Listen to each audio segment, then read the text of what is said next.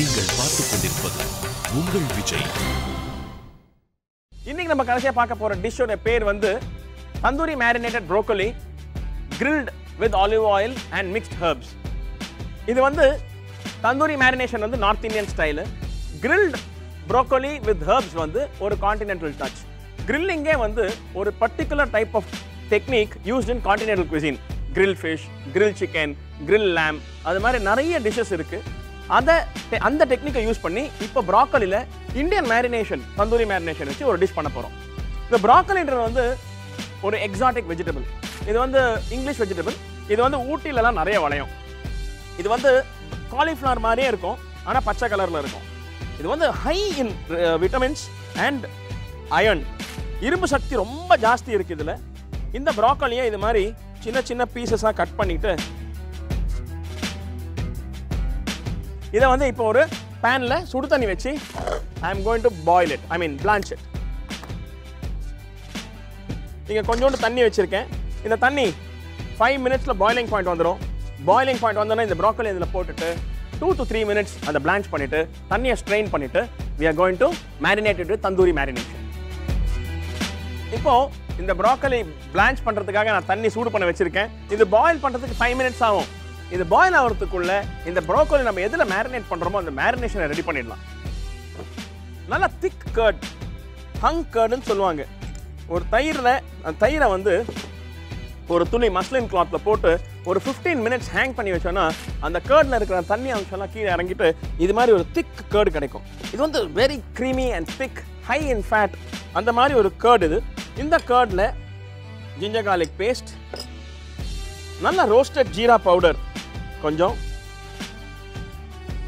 கொஞ்சம் கடலை மாவு மிளகா பொடி க்ரீம் ஃப்ரெஷ் க்ரீம் நம்மளுக்கு பேக்கெட் ஃப்ரெஷ் க்ரீம் கிடைக்கும். அந்த க்ரீம் கொஞ்சம். அது கூட கொஞ்சம் coriander leaves and mixed herbs இது எல்லாத்தையும் போட்டுட்டு தேவையான அளவுக்கு உப்பு போட்டு உப்பு போட்டு இதை நல்லா எல்லாத்தையும் சேர்த்து மிக்ஸ் பண்ண போகிறோம்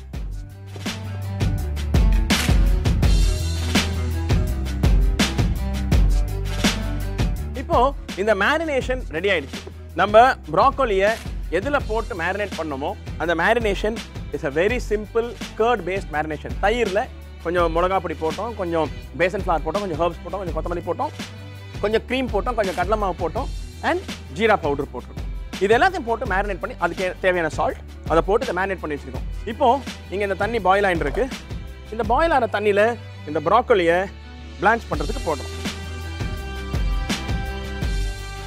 ஜஸ்ட் த்ரீ மினிட்ஸ் மூணு நிமிஷம் நாலு நிமிஷம் பாயிலிங் வாட்டர் இந்த போட்ட உடனே அந்த ப்ராக்கோலி வந்து நல்லா பிளான்ச் ஆகி பியூட்டிஃபுல் க்ரீன் பிரைட் கலரில் ரெடி ஆகிடும் இப்போ ப்ராக்கோலி நல்லா பாயில் ஆகிடுச்சு இந்த தண்ணி அப்படியே ஸ்ட்ரெயின் பண்ணிடுறோம்.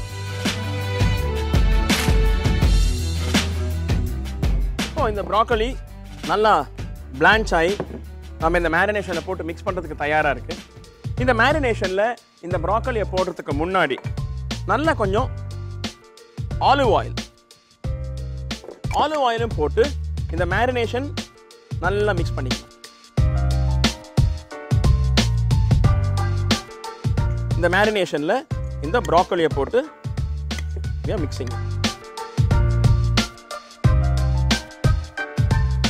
இப்போ இந்த ப்ராக்கலி வந்து நல்லா மேரினேட் பண்ணியாச்சு. ப்ராக்கலி வேண்டாம் ப்ராக்கோலி கிடைக்கல அப்படின்ற பட்சத்தில் இதே ரெசிபியை காலிஃப்ளவரில் கூட பண்ணலாம். ஸோ இந்த ப்ராக்கோலியை வந்து ஒவ்வொன்றா இந்த மாதிரி ஒரு ஸ்கியூவர் ஸ்டிக் எடுத்து உடன் ஸ்டிக்கில்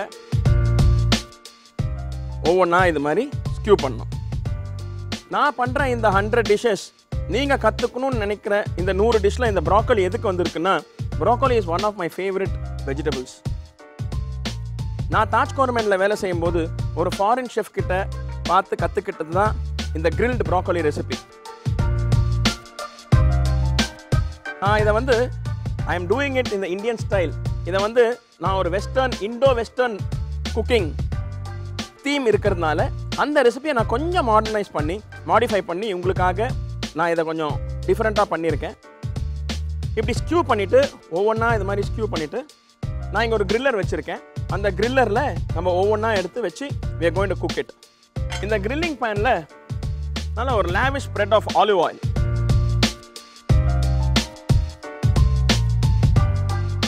olive oil போட்டு இந்த ஆலிவ் ஆயில் சூடான பிறகு நம்ம இங்கே மேரினேட் பண்ணி ஸ்கியூ பண்ணி வச்சுருக்கிற இந்த ஸ்கியூவர்ஸ் எடுத்து ஒவ்வொன்றா அது மேலே வச்சு கிரில் பண்ண போகிறோம் நல்லா கோல்டன் ப்ரௌன் கலர் ரெண்டு சைடு குக் ஆன பிறகு அதை வந்து அப்படியே ஸ்கியூவர்லேருந்து டைரெக்டாக சாப்பிடலாம். It will be very very tasty okay இப்போது இதில் போட்டிருக்கிற ஆயில் நல்லா சூடாயிடுச்சு.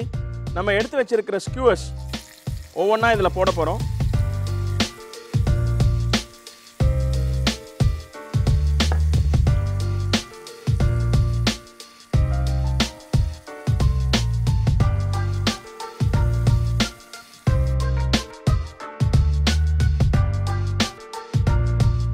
இதில் இந்த ஆயிலில் இந்த ஆலிவ் ஆயிலில் நம்ம போட்டிருக்கிற மேரினேஷன் நல்லா அந்த ப்ரொக்கோலியில் ஒட்டின்னு இருக்கு அது வந்து ரெண்டு சைடும் நம்ம குக் பண்ணும்போது அந்த மசாலா எவ்வளோக்கெவ்வளோ அந்த ப்ரொக்கோனில் ஒட்டி இருக்கோ அந்த அளவுக்கு டேஸ்ட் ஜாஸ்தியாக இருக்கும்.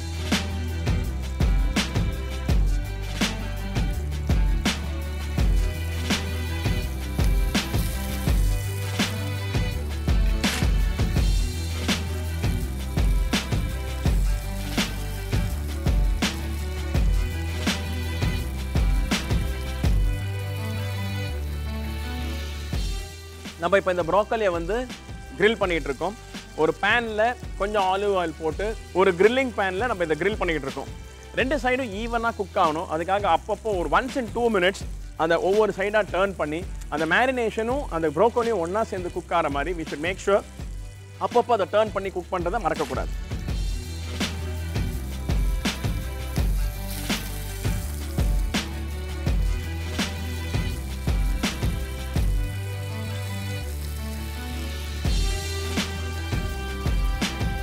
இப்போ பார்த்தீங்கன்னா இந்த ப்ராக்கலி அதோட மேரினேஷன் அதெல்லாம் வந்து நல்லா grill ஆகி மேலே பார்த்தீங்கன்னா நல்ல ஒரு கோல்டன் ப்ரௌன் லேயர் ஃபார்ம் ஆகிடுச்சு இந்த ஸ்டேஜ் வந்த உடனே இந்த கிரில்லரில் இந்த ப்ரொக்கோலி எடுத்து ஒரு பிளேட்டில் அரேஞ்ச் பண்ணி லெமன் வெஜஸ் வச்சு சர்வ் பண்ணலாம்.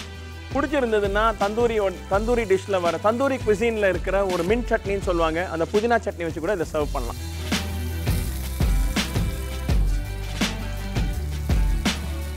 இப்போது இந்த ப்ராக்கோலி நல்லா குக் ஆயிடுச்சு.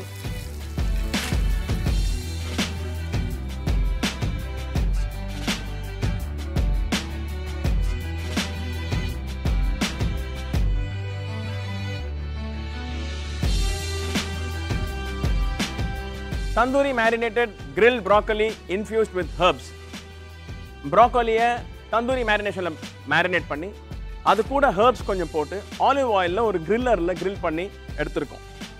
This is Indo western speciality நான் முதலே சொன்ன மாதிரி காலிஃப்ளவர் இஸ் அன் ஆல்டர்னேட்டிவ் அதே மாதிரி பன்னீர் கூட போட்டு இதே மேரினேஷனில் இதே மாதிரி கிரில் பண்ணி ஆலிவ் ஆயில் கூடயும் கார்லிக் கூட கிரில் பண்ணி கொடுத்தா இன்னும் ஃபென்டாஸ்டிக்காக இருக்கும்.